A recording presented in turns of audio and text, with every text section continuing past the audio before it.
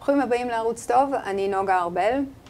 אנחנו רוצים לדבר היום על הנרטיב השקרי הפלסטיני. למי שעוקב יודע שאנחנו מדברים המון על זכות ישראל להתקיים, שזו שאלה מוזרה, בגלל העובדה שלא שואלים אותה על אף מדינה אחרת בעולם, וגם על זכות השיבה, שזו זכות מומצאת שלא קיימת בשביל אף אחד בעולם, ואצלנו משמרים אותה בשביל צאצאים של הקולוניאליסטים המוסלמים, שמנסים לחזור לאדמה שכבר שוחררה והוחזרה לאנשים המקוריים שלה.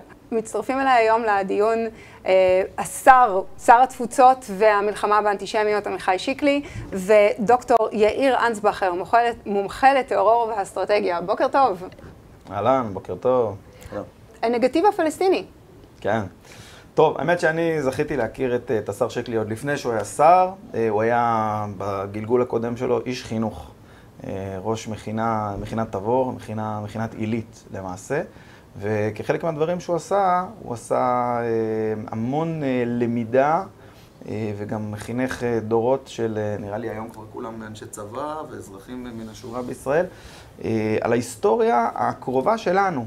זאת אומרת, מה קרה במדינת ישראל ומה קרה קצת לפניה, מאז שהתחיל הסכסוך הישראלי-ערבי, זה איזשהו פרק שתלמידי ישראל, במשרד החינוך לפחות נראה לי, מדלגים מעליו, אה, והשר אה, עמיחי שיקלי, עוד בחייו כאזרח, אה, ידע עליו יותר מכל אדם אחר שאני נתקלתי בו. במסגרת זה עשינו פרויקט משותף, ואז הוא אמר לי, תשמע, תקבל איזשהו ביטוי, אל תקרא לזה הנרטיב הפלסטיני, קוראים לזה הנגטיב הפלסטיני. עכשיו אתה יכול אה, להסביר לנו כן. למה. כן, קודם כל, ברגע שאנחנו מאמצים את המינוח נרטיב, אז אנחנו כבר נמצאים במגרש הפרוגרסיבי שמניח שאין אמת, והכל תלוי בנקודת המבט של המתבונן, וכל הנושא העובדתי הוא לא קיים. לכן השימוש במושג נרטיב, אה, אני כופר בו. עכשיו, לנושא של נגטיב, אה, זה פשוט להבין על מה נשענת בעצם הזהות הלאומית הפלסטינית. הרי אנחנו נמצאים בתוך סכסוך עם תנועה לאומית, אה, שהיא בעצם חדשה למדי. אה, גם מי שחוקר את התנועה הזאת, אנשים ערבים, כמו חוקרים ערבים, כמו מוסטפא קאבה מאוניברסיטת חיפה, בעצם נותנים לתנועה הזו פלוס מינוס כמאה שנה, מ-1920. והתנועה הזאת בעצם קמה מתחילתה, מאורתה, כשלילה של הציונות. עכשיו, אפשר לעצור אותך שנייה? כן. אני פשוט רוצה לחדד.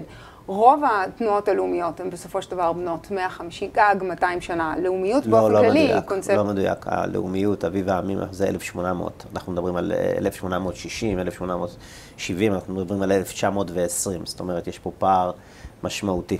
פער למידה משמעותי. אם את רוצה... התעוררו מאוחר. התנועה הלאומית הפלסטינית ביחס לתנועות לאומיות היא אה, הרבה, הרבה קדימה. וגם זה בעצם, כשאנחנו מדברים על 1920, זה ממש הניצנים שלה, זאת אומרת, זה לא שהיה איזשהו משהו קודם, אלא זה מה, שמה זה מתחיל. אז צריך גם להיות מדויקים בדברים בעצם האלה. בעצם ריאקציה במידה רבה לבלפור. בעצם לא היה לאום שהפך לתנועה, אלא המציאו את הלאום עצמו.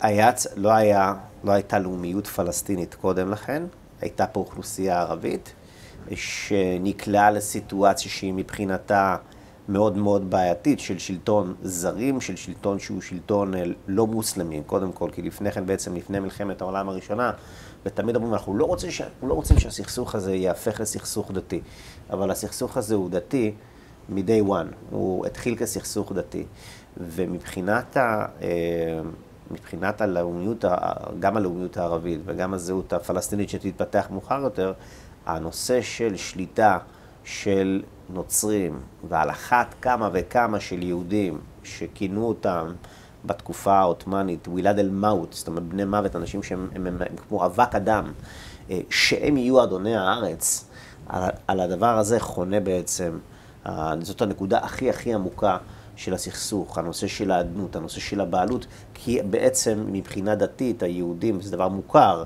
אה, כמו גם הנוצרים, אבל היהודים עוד יותר. הם במעמד אה, של זימה, הם אמורים להיות בעצם בני חסות, ולא, ולא בכדי, לא בכדי נאסר עליהם גם לבנות מעל גובה מסוים ולרכב על סוס אה, ולאחוז בנשק ודברים כאלה. לשלם מס גולגול, ג'זיה וכל זה. עכשיו, הנושא של נגטיב, הוא חשוב, ואולי בדוגמה אחת אני אמחיש את זה. ציינת קודם את המכינה, באמת באחד מפגשים של המכינה עם ראשי תאי הסטודנטים באוניברסיטת חיפה. אה, תאי סטודנטים ערבים, אה, גם של, של מגוון מפלגות ערביות. אה, זה היה רע"מ ו... ואחרות, ובל"ד וכל מיני דברים מהסגנון הזה, חד"ש וכולי. ויושב שם הפאנל, ובסוף השיחה שהם עשו, שאלתי שאלה, שאלתי, תגידו רגע, הסיפור הלאומי הפלסטיני, מתי, מה בעצם האקסודוס, כן, היציאת מצרים שלכם? אנחנו יושבים ואומרים, הנכבה. פחות או יותר הם אמרו את זה אפילו בלי להסתכל אחד על השני. אגב, הם החמירו הרבה יותר ממוסטפא קאבה, ובעצם קפצו קדימה עוד איזה 20 אה, שנה קדימה, ובעצם אנחנו ב-1948, הנכבה. זה בעצם הלידה. אה, ואמרתי להם, אוקיי, מה האירוע השני? שהוא מבחינתכם האירוע לאומי מכונן נוסף. אז הם אמרו, אמ, אל-נחסה, שזה בעצם התבוסה במלחמת ששת הימים. אמרתי, אוקיי, ותעשו מאמץ ותביאו עוד אירוע לאומי. ואז פה כבר היה רגע כינוס כבר מאתגר יותר. היה כינוס קודקודים, הם ככה חשבו ביניהם, ואמרו יאום אל-ארד, שזה יום האדמה, יום האדמה. 76, אה, בעקבות הפקעת קרקעות אה, באזור הגליל, וזה בעצם היו שלושת, ה, שלושת האירועים. אה, היית רוצה מכונן שלהם זה חורבן. כן, אירועי אוקטובר, ואז, לא, ואז אמרתי להם, לא, תראו, תשימו לב, תשימו לב למשהו. כל מה שדיברתם עליו זה בעצם המאבק מול ישראל. ללא מדינת ישראל אין זהות פלסטינית. וזאת נקודה שהיא נקודה ארכימדית. לזהות הפלסטינית אין קיום במנותק מהמאבק בציונות ובמדינת ישראל. אין לה קיום, זה כל תוכנה. לכן זה סכסוך בלתי פתיר במהותו, אי אפשר לפתור אותו. זה סכסוך שלא יכולות להיות בו לא. פשרה, זה סכסוך שלא יכולות... אי אפשר לפשר אותו. אי אפשר לפתור אותו במובן של כן, אי אפשר להגיע לפשרה בעניין הזה. ברגע שמבינים את הדבר הזה, גם מבינים את האיוולת של אוסלו. כי האיוולת של אוסלו באה ואמרה שהציונות, ומי שמייצג אותה, מדינת ישראל, נותנת מקום לרעיון הלאומי הפלסטיני, שכל עניינו הוא שלילת הציונות. ולכן הסכמי אוסלו, ואני זוכר שאז אה, פרופסור יוסף בן שלמה, עליו השלום, הוא אמר על אוסלו, ההסכם הזה הוא הסכם התאבדותי. הסכמה להסכם הזה זה הסכם של מדינה מתאבדת. אה, וזה דבר מאוד מאוד אה, אה, חשוב. אז זה בהקשר של נגטיב פלסטיני. הבאתי פה הפתעה, מתנה לכבוד השר. בעצם יש פה... אבל בוא נרים ונראה את זה. כן, נציג פה לצופים בבית. לצופים בבית, זה מין... מאיפה זה? זה הגיע מהשטח, בוא נגיד ככה. מהאויב, משולחנו של האויב. וזו בעצם מפה שלא במפתיע היא מפת ארץ ישראל האחת והיחידה, שמתברר גם לגמרי שהיא היא מפת פלסטין, כן. כולל כל השמות של היישובים בערבית, זה משיכה, אם תרצה. כן, זה, אני חושב שהדבר, המפה הזו היא בעצם אה, חשובה, כי מה שאנחנו רואים פה, אה, זה לא מפת ארץ ישראל השלמה, זה גם לא מפת המנדט במקורו, אלא זה מפת המנדט לאחר בעצם העברת עבר הירדן.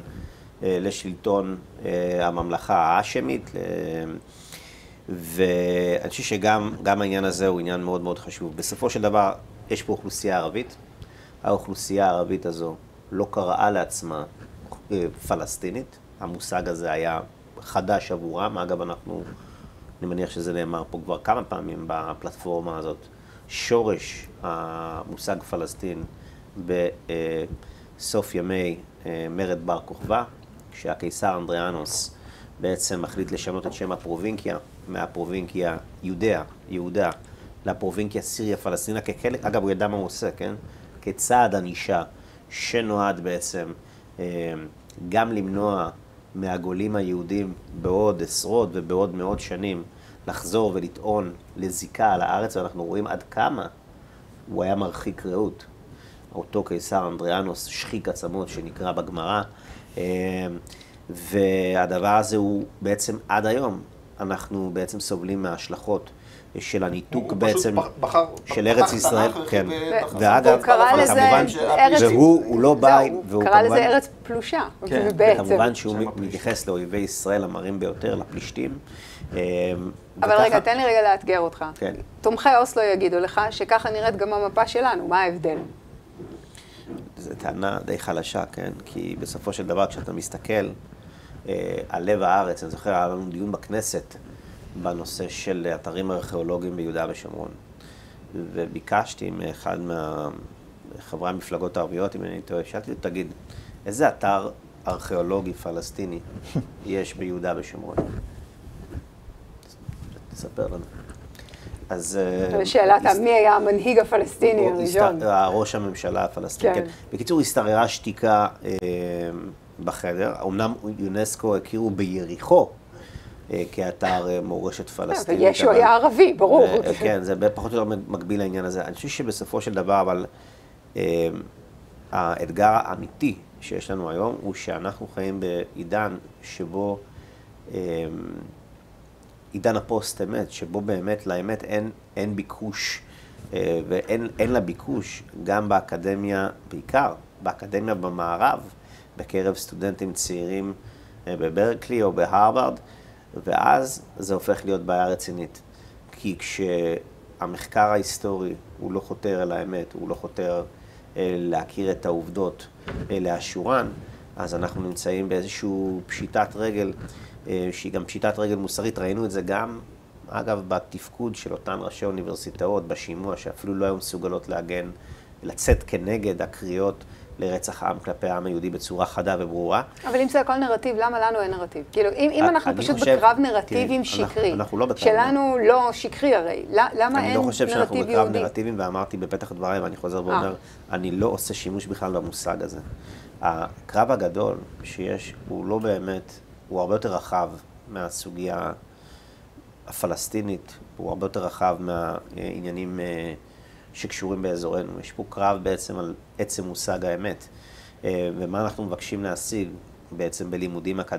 בלימודים אקדמיים, ומה אנחנו מבקשים להשיג כחברה וכתרבות.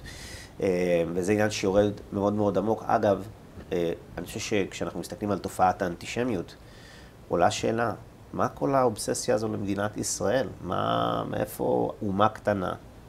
אה, בפאתי המזרח התיכון, איך היא הפכה להיות כל כך נושא מעניינים, כל כן. כך אה, מעניין, שגורר מאות אלפים ל, לב, ל, כן. כן, לרחובות.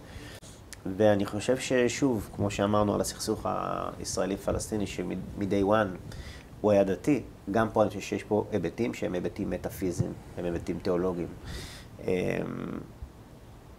המוטו של עם ישראל פותח, זה בעצם קריאת שמע, עשרת הדיברות. אלה ה- המוטואים המכוננים. וכשהולכים אל עשרת הדיברות, אנחנו מתחילים מאנוכי השם אלוקיך.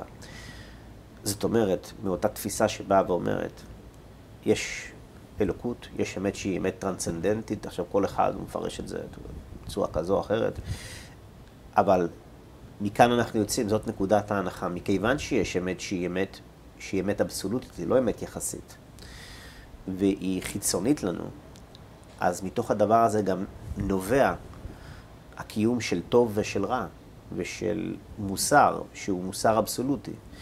ולא בכדי הציוויים שמגיעים אלפי שנה אחורה, לא תרצח ולא תגנוב ולא תנף, הם צלחו אלפי שנות היסטוריה והם עדיין תקפים, והם עדיין רלוונטיים, אולי יותר רלוונטיים מאי פעם. וזה בעצם המאבק האמיתי. האם יש אמת בעולם הזה? האם יש טוב ורע? או שבעצם אין מושג שנקרא אמת. למה שהיא אמת אנחנו- אבסולוטית. דיברת קודם על האמת הפרוגרס. היחסית, ואם היא יחסית, אם היא יחסית, למעשה אין אמת בכלל. אם אין נכון. אמת בכלל, אין טוב ואין רע, אין שום משמעות למוסר.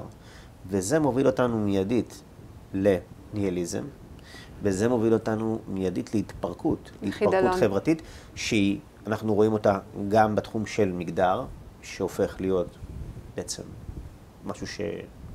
נזיל לו- ופלסטלינה. נזיל לחלוטין, וגם ההיסטוריה היא נזילה לחלוטין, וגם אמות המידה האישיות, המוסריות, הופכות להיות נזילות. וזה הקרב הגדול. זה קורה בעיקר במערב. נכון. ככל שאתה זה- יותר דמוקרטי, יותר ליברלי, אתה... אתה מאבד את העוגן שתי- ויש- של האמת נכון, וחוזר למאבקים של כוח. ויש פה שתי תנועות. תנועה פרוגרסיבית שהיא בעצם גלגול של התנועה הקומוניסטית, שהיא בבסיס שלה כופרת בעניין של אלוקות אה, ושל דת ושל מסורת ושל דברים האלה, ולמולה תנועה שמרנית, שאגב הולכת ומתחזקת אה, גם, גם באירופה, ונמצאת כנגד כרגע אה, גם, גם, גם בארצות הברית. אגב, אה, זה לא אומר שאין לנו אתגרים גם, גם בתוך האזורים האלה, גם בתוך. האזורים האלה יש אתגרים. אבל, אבל זה, בעצם. זה, בעצם, זה בעצם השאלה לאן בכלל הולכת התרבות המערבית. אה, וכשנכנסים לסיפור הפלסטיני, אז אם אתה הולך עם העובדות, אז התנועה הלאומית הפלסטינית היא בבעיה מאוד מאוד קשה. כי אין לה שום תוכן עצמי. כי המובילים שלה בראשית הדרך זה תומכי נאצים, אנשים איומים ונוראים, המופתי חאג' אמין אל-חוסייני, ואחריו ערפאת, וחמאס, שזה איזו מוטציה שמשלבת אסלאם קיצוני וגזענות נאצית ביחד. כן. בעצם, כשאומרים הזכרת את הקומוניזם. חמאס זה אסלאמו-נאציזם. כן, זה שילוב. חמאס. הזכרת קודם את ערפאת ואת הקומוניזם, אז, אז צריך להגיד שערפאת קיבל השראה אפילו כמעט בכוח מ- מה- מה-KGB. יש אה, ספר חשוב שנקרא אופקים אדומים של אה, יון מיכאי פצ'פה, שהוא היה אה, אה, קצין מודיעין בכיר בסקיוריטט אצל הרומנים, אבל הוא רכש את כל ההשכלה שלו אצל ה-KGB הרוסי, בעצם עבדו ביחד, והוא מתאר איך שהוא נשלח, יחד עם אחרים, להכשיר את ערפאת. שלא היה מוכן לזה תודעתית, הוא היה עדיין בקטע של אה, קלצ'ניקובים וכולי, ללמד אותו שהסיפור הפלסטיני הזה יכול להיות נשק הרבה יותר קטלני נגד ישראל ונגד המערב אם הוא ילבש חליפה. זאת אומרת, הוא ממש אה, הטמיע, הוא גם טוען שם שערפאת לא, לא רצה לקבל. הוא אומר, ערפאת לא, לא הבין, הוא אומר, באיזה שלב לוקחים את הנשק? לא, לא, ת- תתאפק עוד קצת. עוד, עוד הסכם, עוד חליפה, עוד... אה, אה, זה על מסוג. אחר. בואי נדבר באמת שנייה על המחקר שלכם. אנחנו אוהבים להגיד שה, אה, שהלאומיות הפלסט... הפלסטינית נולדה ב-64 באמת יחד עם ערפאת, אבל מה שאתה אומר זה שאנחנו צריכים ללכת הרבה אחורה. אנחנו מסתכלים על 1920 וכבר שם אנחנו רואים ניצנים של המצאה של אה, אירוע חדש. זאת אומרת, ברגע שבעצם, הצהרת בלפור, נכון? ברגע שאנחנו מתחילים לדבר על זה שמי שיש לו זכות למקום הזה הוא לא האימפריאליזם המוסלמי אל היהודים, אז תכף ומיד מתחיל מאבק הנרטיבים. אתה יודע, הרב יונתן זקס אומר על זה שהקרב באמת הוא שאלה של איזה קרב אתה בוחר, מאוד דומה למה שאתה אומר. אפשר להיות בדיון על האמת ובבירור שלה, ואז אתה תראה רווחה ואתה תראה ליברליזם אמיתי, ואתה תראה התקדמות של רוח האדם, או שאפשר להיות בקרב על כוח. מה שבעצם אתה מתאר זה שב-1920, יחד עם התחלה של החזרה של הקרב על האמת פה, מישהו בנה את, ה, את הדרך להחזיר אותנו לקרב על הכוח. רק משפט אחד, ש- שעמיחי ישלים אותו בדברים יותר, אה, אה, נקרא לזה ארוכים, זה שמאוד אהבתי את ה- את העובדה שבפרויקט המשותף שלנו, עמיחי, כי אנחנו פה מדברים על זה לעומת זה, נכון? על, על, על, על נגטיב. אה, הוא לקח אנשים וציין אותם כזה ההרצל של הפלסטינים, וזה הבן גוריון של הפלסטינים. יש ממש נקודות... אז, אז, אה, אז אם ערפאת, אם הבנתי נכון כן, את האנלוגיה, כל- אם ערפאת הוא הבן גוריון, בהנחה שזה, מי ההרצל? אז, מי כל- חוזה השקר הפלסטיני? צריך קודם כל לבוא ולומר, רק אם אנחנו הולכים רגע ל- לעניין של תחילת התנועה הלאומית הפלסטינית, קודם כל בראשית הדרך, אותו ועד ערבי, היה מועדון, היה מוע- המועדון הערבי, ואחר כך היה הוועד הערבי. הלאומנים הערבים, קודם כל לאומיות ערבית היא קודמת ללאומיות הפלסטינית, היא מתחילה בכלל בלבנון ומתפתחת משם, אבל הלאומנים הערבים שהשתייכו למעמדות הגבוהים, אם זה בירושלים ואם זה בחיפה ובמקומות כאלה, הם בהתחלה ראו את עצמם כחלק מסוריה הגדולה. זה היה המושג שאותו הם ביקשו לקדם. הם אמרו, אנחנו חלק בלתי נפרד מסוריה. זה מה שהופיע על המפה הזאת. אנחנו... לא היה כתוב פלסטין, היה כתוב חלק מסוריה הגדולה. טרום זה- סוריה. הם, לא, זה לא היה נראה ככה בכלל, זה כן, היה נראה ברור. כחלק, כחלק- מסוריה. חלק או ממקימי אש"ף בשנות הגדולה, ה-50 עוד דיברו את זה. או דרום סוריה. אלה המושגים, הכל מובא במסמכים כן. מפורטים. נאומים באו"ם. עם, זה לא נאומים באו"ם, זה לא, מכתבים, זה מכתבים אל הבריטים, שבאים ואומרים, אנחנו לא נאפשר בעצם לציונות פה אחיזה, אנחנו 아, נתנגד לה בכל כוחנו. ואנחנו רואים, כן, ואנחנו רואים, בראשית המנדט, ואנחנו רואים את עצמנו כחלק בלתי נפרד מסוריה הגדולה. רק ברגע שבעצם... אה, זה אגב מה שהם צעקו. אלה היו זעקות ה... בחיבור ל اطبح اليهود, והיהודים הם הכלבים שלנו, הם גם צעקו פייצל הוא מלכנו.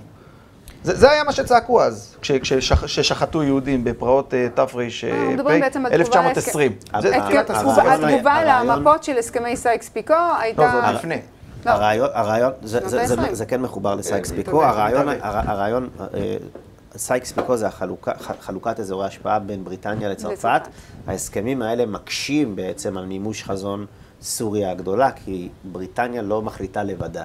והצרפתים רצו את אזור הלבנט, שזה אזור לבנון וסוריה, שיהיה תחת ההשפעה והשליטה שלהם. אגב, הם השקיעו כבר בתקופה העות'מאנית אה, המון המון משאבים, ובנו מוסדות חינוך, ובנו אה, תשתיות במקומות האלה, זה, זה משהו שהוא הולך הרבה אחורה. Mm-hmm. ובעצם הרעיון הזה של סוריה הגדולה קורס. הוא קורס, אה, ופייסל מסולק מדמשק. אגב, גם קרב תל חי קשור באפיזודה הזו. אה, של מי ישלוט, כן, במרחב הזה, התומכי פייסל או הצרפתים ועוד כהנה וכהנה, אבל לא נלאה.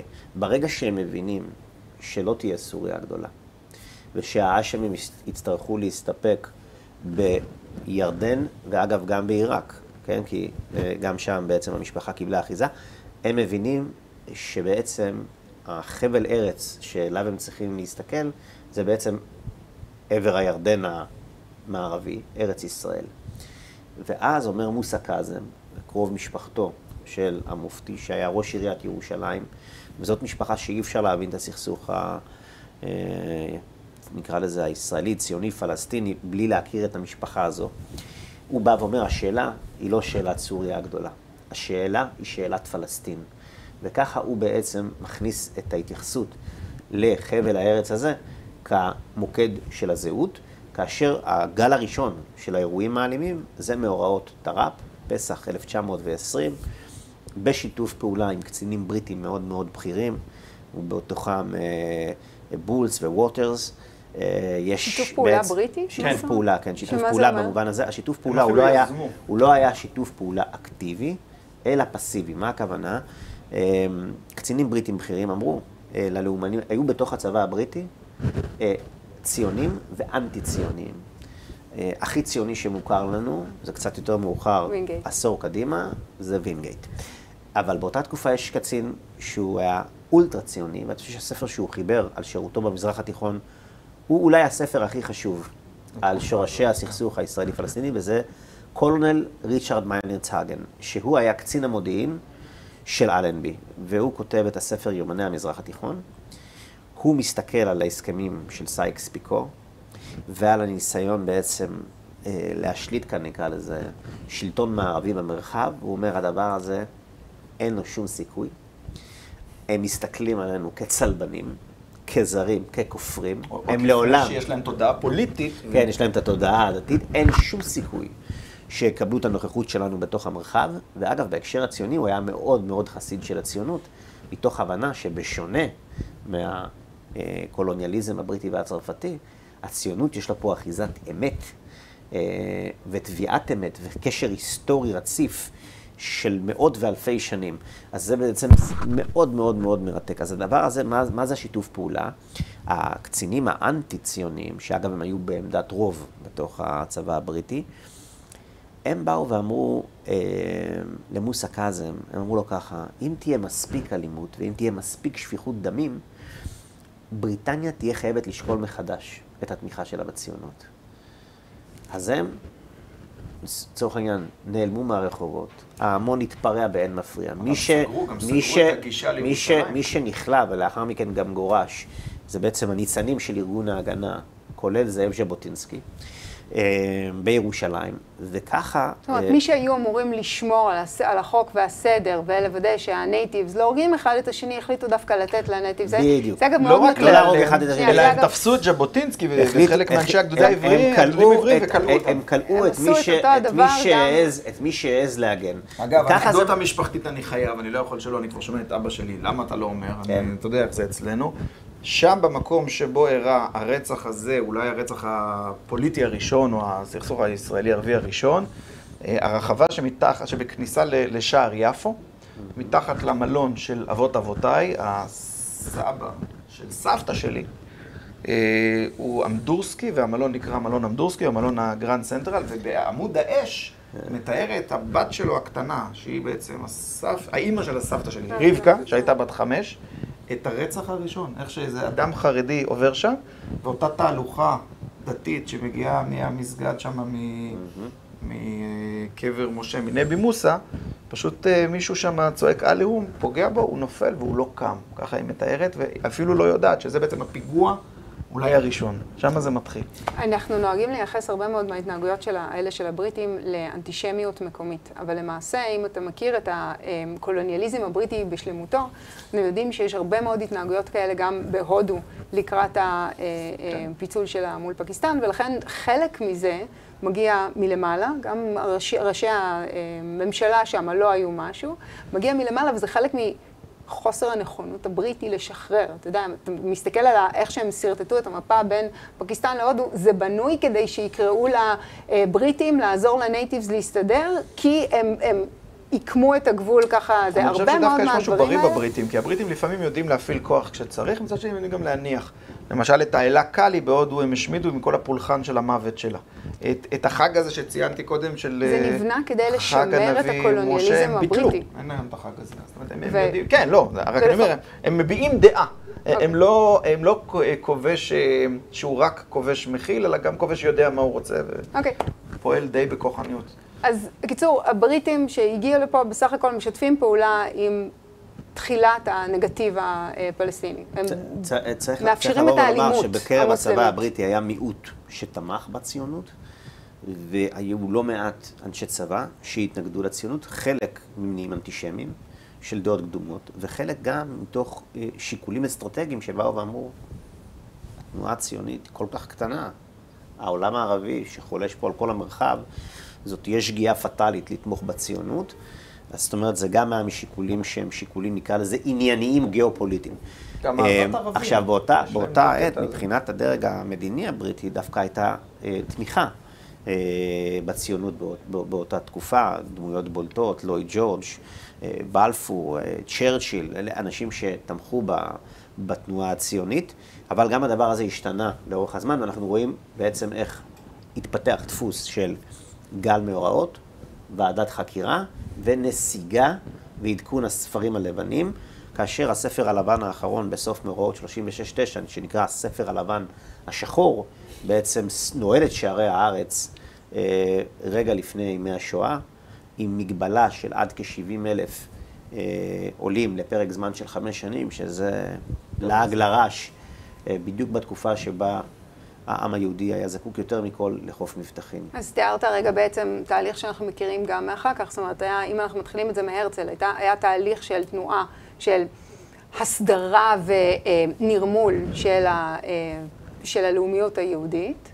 הערבים אה, אה, נכנסו לתמונה, היו לך כמה גלים של אלימות, שהסתיימו בסופו של דבר ב- בחוסר לגיטימיות. ואם אתה קופץ לאחרי מלחמת העולם השנייה, אנחנו רואים למעשה את אותו הדבר, ואנחנו עכשיו בקצה של הגל השני של האירוע הזה. היה נרמול ההצדקה עד בערך 67 של הלאומיות היהודית כאן, ומאז אנחנו בגלים בכל מה חוזרים שקשור של... לערבים, מעולם לא היה נרמול, אז אני לא, צריך שתגידי אני לי מדברת על, לא, לא, זה על מה את סבבה. מדברת. לא נרמול בקרב הערבים. אני- אני רוצה להשתמש במילה נורמלי, לא, אב נורמלי, לא הבנתי מה. לא, לא נרמול בקרב הערבים, נרמול בקרב העמים. חלק, חלק מהבעיה שלנו, הרי בתור יהודים אנחנו כל הזמן רוצים רשות.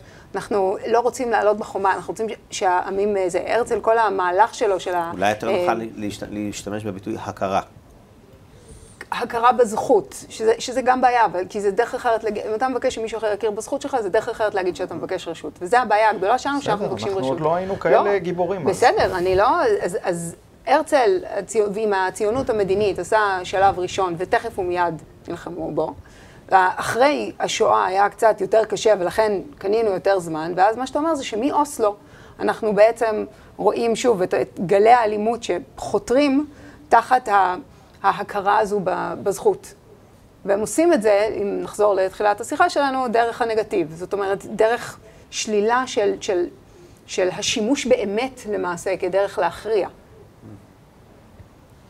כל ה... דרך אגב, צריך להגיד שבאמת כל הוועדות האלה שהביאו כאילו היו מנוסחות ודאגו לשוות להם מראית עין מאוד אובייקטיבית, הביאו אנשים כמו חאג' אמין אל-חוסייני בעצמו להעיד בחלק מהם וכולי, הן תמיד מגיעות בסוף למסקנה שהיהודים הם אלה שהם מתסיסים והם מקור כל הבעיות, ולכן ממילא גם אה, יש שם נגיד שהוועדות האלה, ועידת פיל, אגב, שבפניה הופיע באמת אה, המופתי, זה הוועידה ששמה את ה-two-state solution, כן? זה בעיצומם של המאורעות, אה, אם אני טועה, 37, ששם בעצם מביאים את הרעיון הזה של, אוקיי, בואו ניקח את אותו חבל ארץ שנקרא ארץ ישראל ונחלק גם אותו לשניים, וככה נפתור בעצם את הסכסוך. אז הרעיון הזה של two-state solution מלווה אותנו הרבה הרבה מאוד שנים. ושל אפיזמנט לאלימות, זאת אומרת, מה שקורה זה כל פעם שהם אלימים, כן, אנחנו נותנים להם אדמה אנחנו וככה. אנחנו בעצם, אין מה לעשות, אנחנו צריכים בעצם, כן, גם הנושא הזה עולה לסדר היום, וגם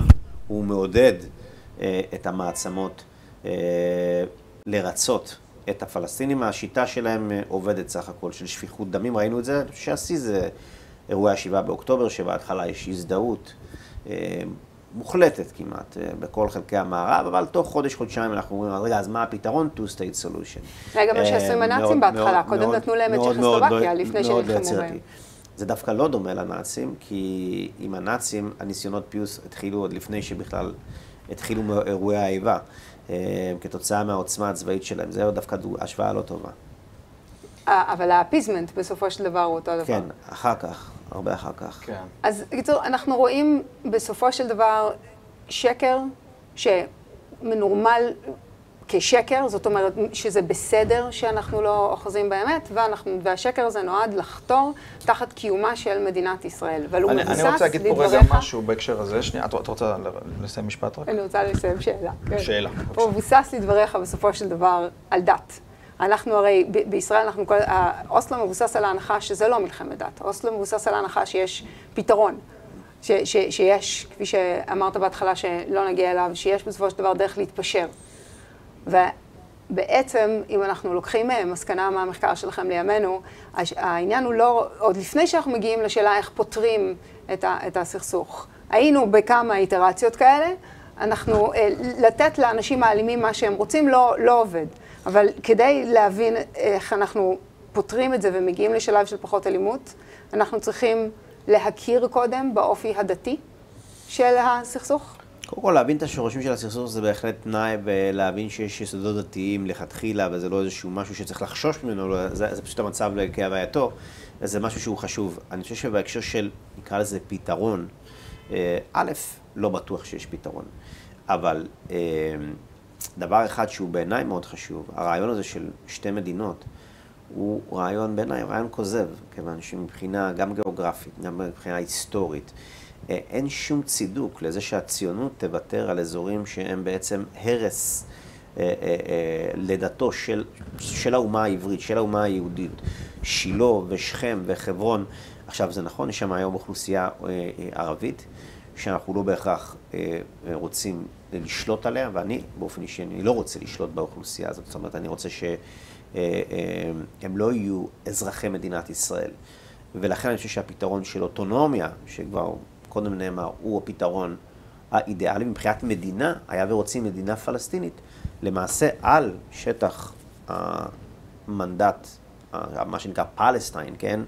אה, על רוב השטח הזה הוקמה מדינה. מדינה ערבית. שיש בה רוב אה, פלסטיני. המדינה, כן, הזאת ו... קוראים לה, המדינה הזאת קוראים לה ירדן. ולכן אני חושב שמי שבעבר בא ואמר, ירדן היא אה, יכולה להיות ה... אוקיי, מקום לאומה הפלסטינית. אגב, גם בבחירות שם, רוב הקולות הלכו לאנשי האחים המוסלמים, זאת אומרת, לחמאסניקים. אז בסופו של דבר, רוצה... מדינה שהיא קמה על שנייה. שטח של uh, המנדט של פלסטיין, ושרוב האוכלוסייה שם היא פלסטינית.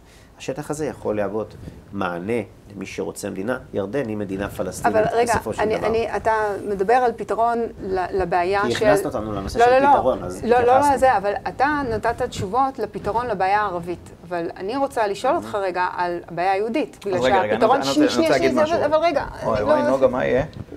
לפני שאנחנו אה, אה, פותרים את, ה, את הבעיה של הערבים, לנו יש בעיה שאנחנו לא מוכנים בכלל להתמודד עם הבעיה.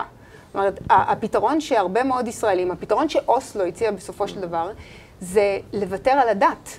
לוותר על, על הזכות, לוותר על ה, על ה... שלא יהיה אכפת לנו.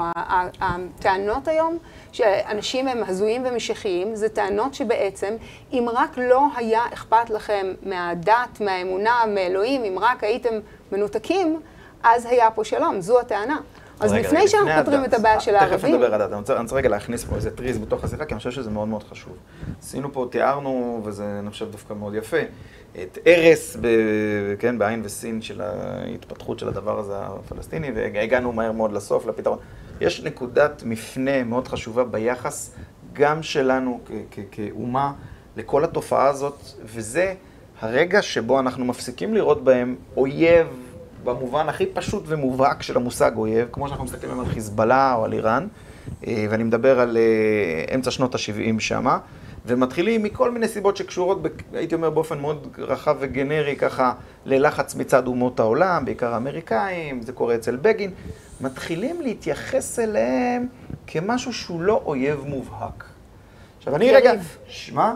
לא יריב. יודע, לא יודע, כל מיני דברים. אה, פרטנר וכל מיני מילים אחרות. עכשיו, שנייה רגע. הם לא שינו מעולם מילימטר, הם לא זזו מילימטר, לא מהעמדות שלהם, לא מהמפה הזאת, לא ממה שהם מחנכים. אני כשראיתי, ב, ב, לא משנה, בבסיס אה, אורים, בשביעי לעשירי, אה, נוח'בה מוטל על הקרקע, אז היו לו, תיארתי את זה, שני פאצ'ים, היה לו פאצ' של עזדין אל-קסאם, הזרוע הצבאית של החמאס, ומתחת דגל, אותו דגל, הדגל הזה. זה השאיפה האחת והיחידה להשמיד אותנו. אנחנו... מרוב, אה, הייתי אומר, אה, בלבולציה מאוד מגוונת. לא, אנחנו להרחיב עליה. ויתרנו על הזהות שלנו, זה רגע, האירוע. עוד לפני שוויתרנו, זה, זה קרה בהתחלה באיזשהו סדק, ואז זה הלך והתרחב והתפשט. פתאום התחלנו לראות בהם מין משהו שהוא, אני לא יודע מה, אבל לא אויב נחרץ שדינו ושהיחס אליו הוא כן. ברור ומובהק. וזה אנחנו הפך רואים להיות, רק משפט מה- אחד, הנשק הגרוע ביותר, תיארתי קודם את מה שהרוסים והמחשבה הצבאית שלהם ההיברידית המתקדמת, כן. ואיך שזה הגיע עד הלום, והאיראנים עושים בזה שימוש, הפך להיות הנשק הכי קטלני שאי פעם כוון נגד ישראל, כי הוא קורע אותה עד עצם הרגעים האלו באולפן פה. כי אנחנו רואים את עצמנו כאויב. אז זה מתכתב עם מה שנוגה אמרה קודם, תן לי רגע לעשות בזה סדר, כי נראה לי קצת התפזרנו. כי ה- לא, לא. ההכרה, ההכרה באש"ף, שהשיא שלה זה הסכמי אוסלו, היא הכרה ברעיון של שלילת הציונות. וזה באמת אותו נשק הכי מסוכן שמופנה כלפינו. וצודקת נוגה שבאה ואומרת שיש גם היבט פנים-ישראלי בכל סוגיית אוסלו. אמר רון פונדק, אה, זכרו לברכה, שהיה מאדריכלי ההסכם הזה, שמבחינתו ההסכם לא נועד אה, רק בהקשר הפלסטיני, אלא להפך, הוא רוצה ישראליזציה, כן, ישראליזציה, שזה בעצם, אה, אהבת את המילה נורמלי, כן? להיות עם נורמלי, כן? אנחנו רוצים להיות עם נורמלי. אנחנו מה. זה להיות עם נורמלי לשיטת פונדק? זה ניתוק בעצם מהזהות היהודית, שהיא הכל חוץ מנורמלי. והיא לא שואפת להיות נורמלית, היא שואפת להיות היא עצמה, היא שואפת להיות יהודית. ובאותה תקופה, גם כשאתה לוקח את המונולוגים, אם זה. הייתה את הסדרת תקומה, שמסתיימת עם אה, רצח רבין, ואז יש שם סופרת צעירה ולא מוכרת, שלימים תתפרסם בגלל איזושהי ורסיה על... אה, על המאהב של א' ב' יהושע, גדר חיה, דורית רביניאן, אז היא שמה באה ואומרת, כן, אני רוצה להשתחרר מכל המשקל הלאומי, מכל הוותיקן הזה. מכל המטען ההיסטורי, ואנחנו רוצים להיות נורמליים. ולכן אני חושב שבהקשר הזה, ועם זה גם נסיים, ה-7 באוקטובר, שזה אירוע טקטוני, אה, הוא גם ה-wake-up call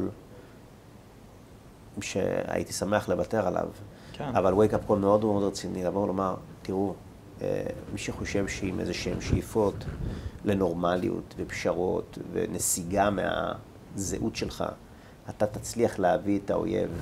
לעשות אה, את אותו ללכת דבר. אחורה, אז אה, בדיוק ההפך הגמור. תהיה נאמן לעצמך ותעמוד על שלך ותכבד את האדמה הזאת, שהיא אדמת אבותיך ונחלת אבותיך. ותדע לעמוד מול האויב גם רעיונית, קודם כל רעיונית. ועמידה רעיונית למול האויב היא קודם כל לעמוד על זהותך שלך. וזה קריאה להתחבר לזהות, וזה קר- קריאה להתחבר לאדמה הזאת. אמ, ומתוך הכבוד העצמי לזהות שלנו, למי שאנחנו, ומתוך כבוד לאדמה הזו, שהיא נחלת אבותינו, מתוך המקום הזה אפשר גם לפתח תודעה שהיא תודעת ניצחון, ואפשר גם להתעמת עם השקר הפלסטיני ועם האסלאמו-נאציזם החמאסי.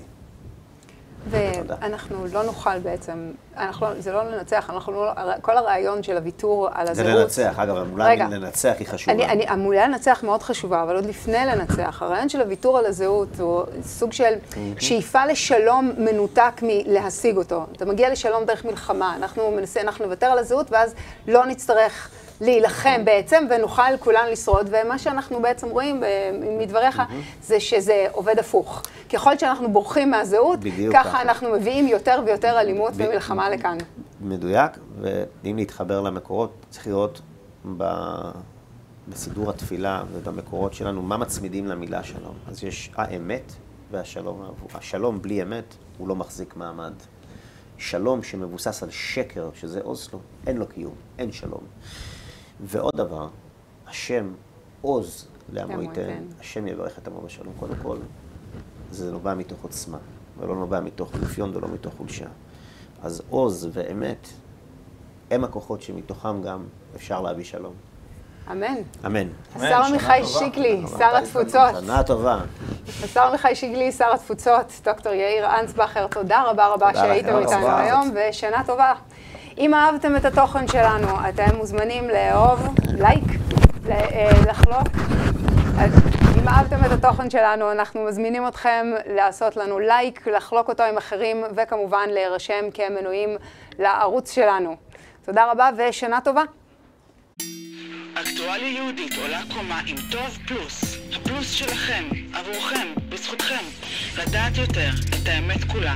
בערוץ עצמאי, לאומי, יהודי, בחוויית צפייה שלא פגשתם. ועכשיו, בטוב פלוס. כל הרעיונות הכי רותחים עם מיטב מומחי הערוץ. האלוף יצחק בריק, אליהו יוסיאן, האלוף גרשון הכהן, דוקטור מוטי קידר, עורך דין יורם שפטל, האלוף עוזי דיין ועוד. הצטרפו היום.